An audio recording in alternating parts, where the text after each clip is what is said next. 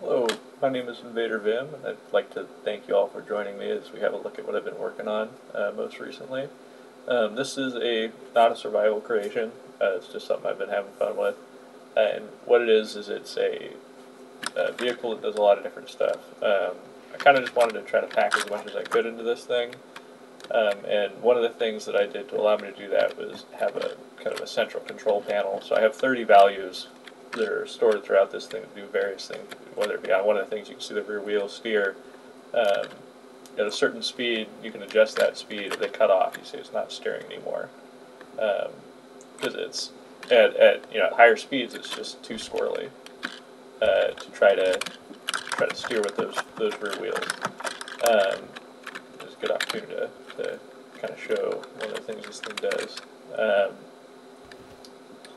that has that's a PID thing. We'll we'll get into that. But so like I said, 30 values, and I can I can cycle between them all uh, just from right here.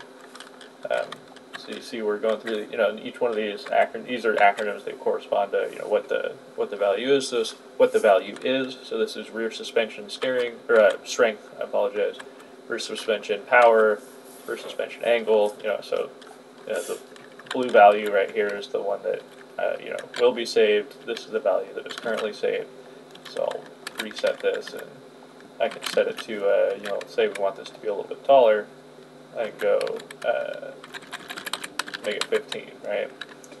Go ahead and uh, save that, and you see it raise the, the rear suspension up a little bit higher. I can go ahead and lower that back down. Uh, but so you can adjust all the values from the center control console, and makes it way easier for me at least. But uh, it has a few different modes. So if you, because it uses these RAM modules, which are pretty nifty, so you can cycle through the channel um, and have multiple values saved on it, you know, on each RAM module. So if I click this, we'll go between, you know, have a crawl mode, sports mode. You can see it changes the suspension, everything, changes the vehicle speed. Um, a bunch of different settings are altered depending on that. And, uh, you know, for the crawl mode, for example, if you got something you want to climb over, you know, this kind of makes the suspension real soft. You can just you know, climb over over rocks, stuff like that, no problem. And then you get over the rocks, you know, you're like, oh, I want to go to uh, something a little bit quicker. We got that sport mode, and we got a wheelie control on here too. Um, you know, it kind of stops you from from uh, flipping over. Basically, it just uh, cuts the power. That's another one of the settings that's stored in there. But yeah, I've got a few different modes, and then kind of the final thing I added, uh, saw a little bit earlier when I flipped myself, but I added this uh, PID controlled flight system. And so this, you know, to adjust the terrain, you know, if there's a hill to go over the hill, but there's a flip you can switch to give it um, just pure altitude flight, so whatever you set it to based on the map, map altitude, it'll match. Um, but yeah, so you can just fly this thing around, get where you need to go. Just wanted to try to, like I said, pack as much stuff as I could in here and just make something silly. Cut the cut the flight power. Yeah, um, I hope you hope you enjoy it. I guess we can have a look at kind of how this this works. You know, the, the whole um, I guess number you know control panel selection thing. You know, this is what you'll normally see when you have a bunch of values. You'll have a bunch of these uh, in the mod pack. I would recommend anybody try this mod pack. It's really cool. Um, there's Durf's original mod pack, and then there's the continuation. I've come to recently understand there's a good deal of drama going on in there, but um, they both seem to function about the same. You know, uh, you can pick whichever one you want to want to use. But uh, at any rate, you, will see this. Uh, you have these. Uh, um, sorry uh, counter blocks. There's so much going on here, I get lost sometimes. You've got these counter blocks, and you'll have one of these for each value, right? And the reason there's so many buttons is if you want to these up, you know, up it by ones, and then these up it by tens, right? And then if you want to, you know, be able to control the ones in the ten spaces, you have to have two separate two sets of buttons enabled to in order to do that, right? And it just gets to be a lot. If you especially have, like I said, 30 values, you're going to have, you know, six buttons if you want hundreds as well, six buttons per value, the display, all this stuff, right? You can, you can see this thing getting pretty long. Now this this is what I have um, kind of an exploded view of what's in that vehicle. Red the red value is what what a RAM slot were selected, and so you can cycle through these and you can see it. You know that that value here is, is the one that's stored on there, and then you can just pull these from the RAM slot for whatever you're using it for. You know this is just to display whichever one's currently selected, um, and then you can do this to cycle through those uh, uh, channels, right? So if I go to the next channel, or I'll go back. So we have 5, 10, 15, 20 stored on 0, 1, 2, and 3, right? If I go back now, and I go to the second channel, we've got 1, 2, 3, and 4 stored on, on now instead. So we can switch between those different channels, have different values. And what this also allows us to do is have, you know, the single input. So, you know, we're on um, uh, number uh, zero over here, right? So I have 25 saved, and uh, oh, 15. We'll get to that. So I have 15 saved on this counter, right? And I can adjust it if I want it to be 115, you know, maybe about 25, 26, right?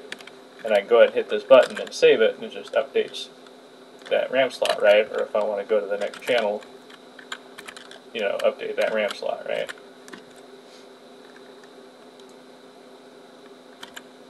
Now, let's say I don't want to use these buttons at all. I can flip this switch, and now we're using this this uh, input here. It's another thing from the mod pack these displays are from MGM uh, Legacy mod pack, which I would recommend just for these alone. Honestly, there's a couple of cool thrusters like that I use here, but these panels, if you do this like this kind of stuff, it's just really useful. Um, but so we got our input here, and I can just input a value. Say I want 55. Hit enter. We got 55 saved. So that's kind of how I've set this thing up to be controlled, is you can adjust all those values very simply just from the cockpit, right? So you don't have to get out, you don't have to find, you know, which block you're trying to adjust and figure out which button you click and hope you didn't click the wrong one or accidentally reset a counter, because if you, you know, say you have a value stored on here and you actually hit it, oh, it's gone. You know, it's like now you got to figure out which one you accidentally hit, you know, what the value was, all this stuff. It's just, I've, I've didn't enjoy didn't enjoy that trying to figure that out. Trying to dealing with that, I should say. You know, but this I haven't had any of those problems. You know, it's just it's all kind of contained and controlled right there. You can adjust everything. Um, but yeah, so that's my that's my you know my vehicle here. I, I certainly um, I'll pull out the the wire tool here. I certainly went a little little too far in a few places. Um, you know, with the wiring, it's uh, but you know it all works. Uh, nothing, nothing's broken. Um, yeah, like I said, it's got a bunch of these weird little, you know, things you wouldn't really notice right away, like the wheelie control. Pick two two eye up off the ground, it cuts the power.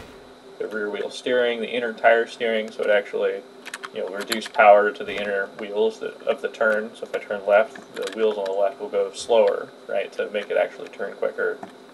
Um, sorts of different stuff like that. I don't know if you saw my suspension dropping, but if you're a certain height above the ground for a certain amount of time, it'll uh, give you it'll increase the height of the suspension until you hit the ground to give you a little more uh, clearance, you know.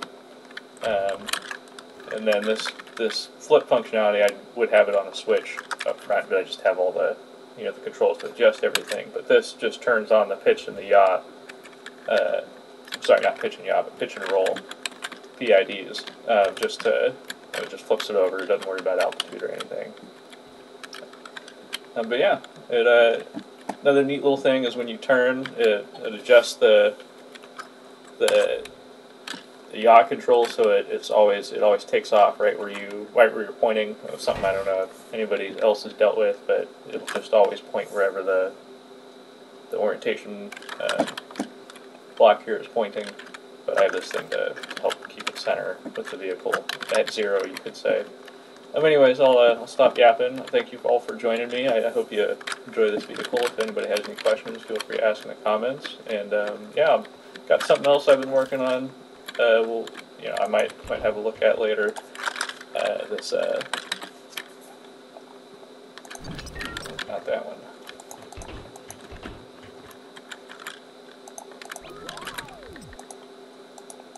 Yeah, this thing right here. So this this is another thing I was playing with the PID stuff.